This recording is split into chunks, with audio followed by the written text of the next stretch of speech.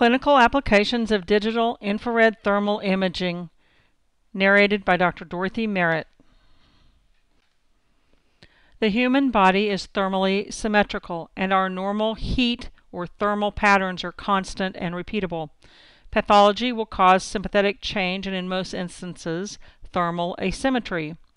DITI, or Digital Infrared Thermal Imaging, is a highly sensitive and totally non-invasive clinical imaging procedure for objectively detecting and monitoring many injuries and conditions in the human body. Because the human body is thermally symmetrical, we can use comparative views, left to right, to detect physiological dysfunction. Clinical thermography is just a simple test of physiology that relies on the sympathetic nervous system control of skin blood vessels and the ability of the sympathetic system to respond and react to pathology anywhere in the body. It is controlled by the central nervous system and pathology is seen along strips of skin called thermatomes.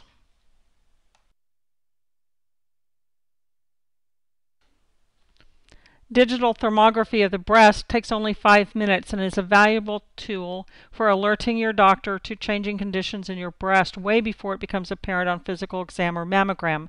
Notice the symmetrical colors in these breast images. This slide illustrates the time it takes active cancer cells to double in a patient under 50. Notice that the cancer may be present for eight years before mammogram detects it.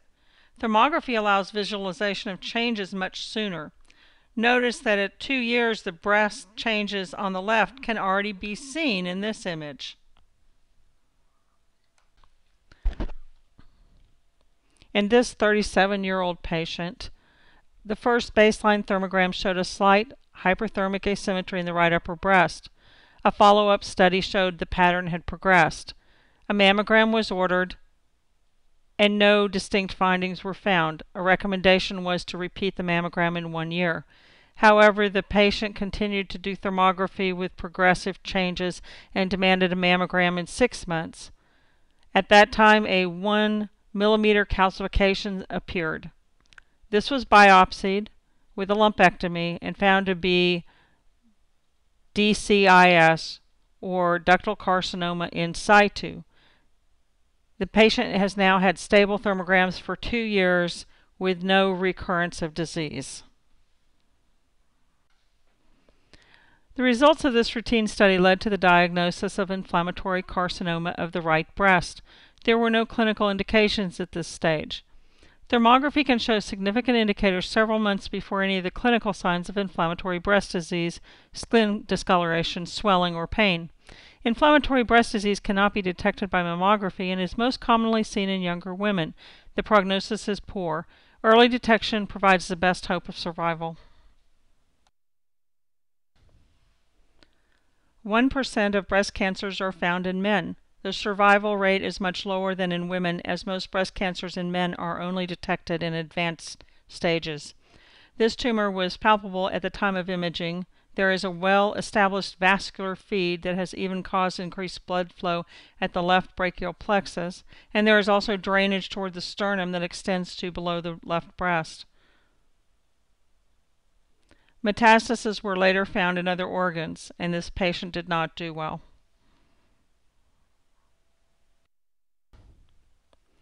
The skin as an organ has specific regions called thermatomes that through the uh, autonomic nervous system relate to every internal organ and structure.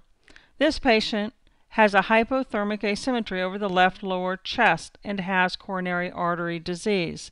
The decreased blood flow to the heart is reflected on this picture as the blue circle. He also has an abscess of the left fourth tooth, as evidenced by the red and white inflammation around his mouth.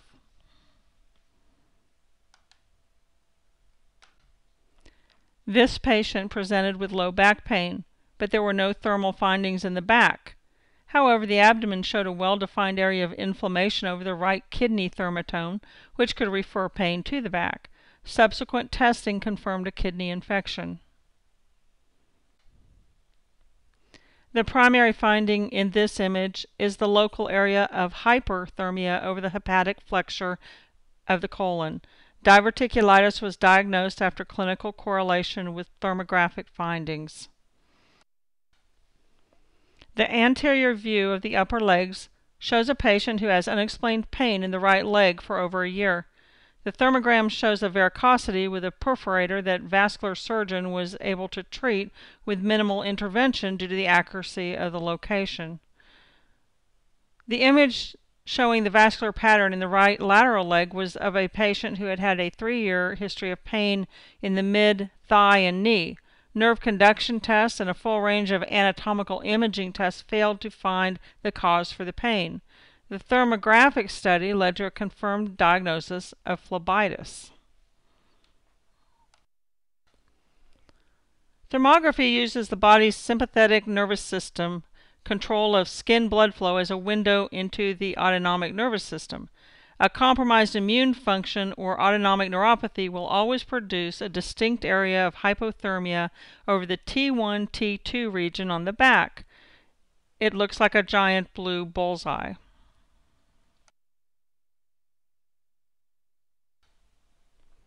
100% of patients with positively diagnosed autoimmune related conditions exhibit local hypothermia over T1 and T2.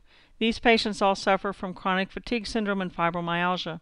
The reliability of this phenomenon allows us to monitor the response to treatment and rehabilitation over days, weeks, or months. This image shows hyperthermia over both lobes of the thyroid, indicating thyroid dysfunction. This image shows the abdomen of a patient with hepatitis. The hepatic blood vessel, which normally closes after birth, has now reopened from the liver to the umbilicus. That is the J in the middle of the lower part of the image. Referred pain syndromes can be difficult to diagnose.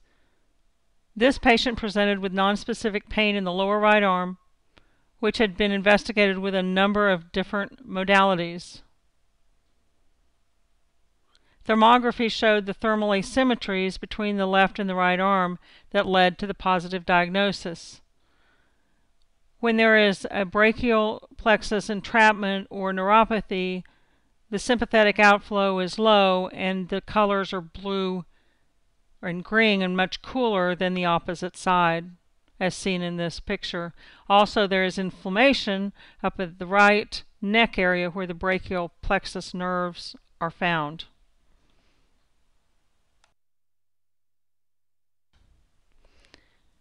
In this image, a trigger point associated with a specific anatomical structure can be seen.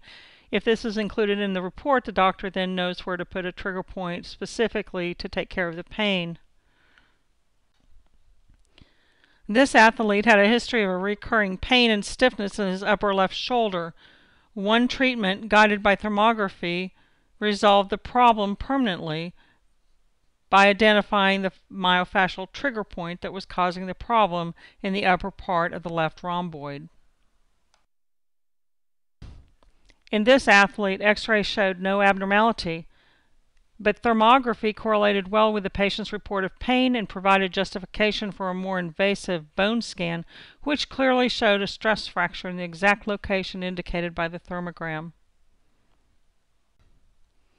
Although this hypothermic pattern resembles an S1 radiculopathy, it is a sympathetic reaction to the pain caused by a bony spur on the left heel.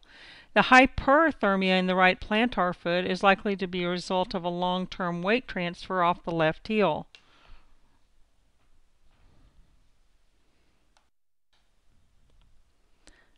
Objective monitoring of the effects of various treatments can be recorded with thermography.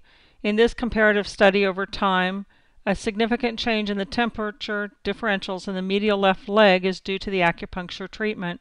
The entire region of interest is seen to cool, but the local areas of inflammation in the medial knee changes and reduces at a much greater rate. We can do this same monitoring whether using skin patches for pain or acupuncture or medical treatments. In this image, of the posterior cruciate, there is thermography evidence of strain of the left knee. However, the vascular damage that is identified below the knee on thermography was not initially identified with typical diagnostic monitoring.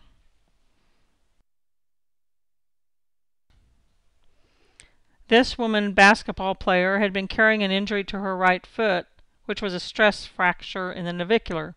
Thermography showed the effects of the weight transfer to her left knee, as evidenced by a giant red area of inflammation that is red with white spots in it.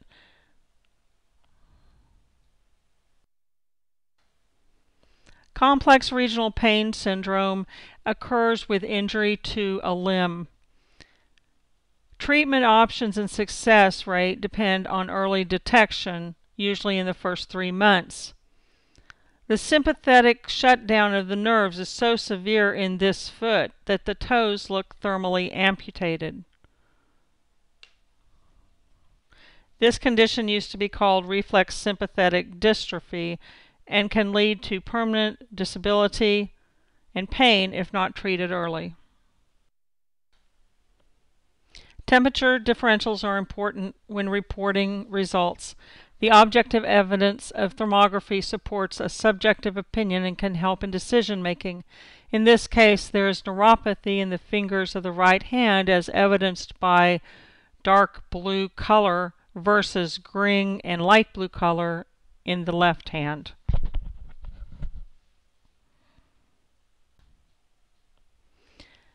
In this slide, you can see early stage bilateral carpal tunnel syndrome on the left. You can see that the fourth and fifth digits are cooler than the rest and that there's inflammation in the wrist, evidenced by the red and white. Later on, after no treatment, and when there has been chronic nerve damage, you see the changes where the entire hand and arm becomes blue and the fingers are cool.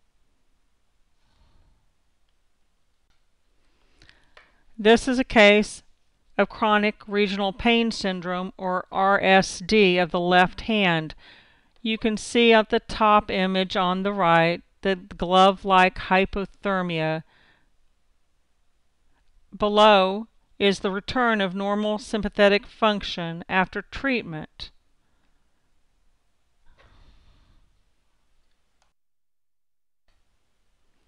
In this slide, you can see 60% occlusion of the right carotid artery as evidenced by red and white inflammation along the course of the carotid artery on the image on the right. In conclusion, thermography is a great tool to detect disease that is not apparent yet. It is also a great tool to narrow down and direct further workup when nonspecific symptoms are present. Ask your doctor about this technology today.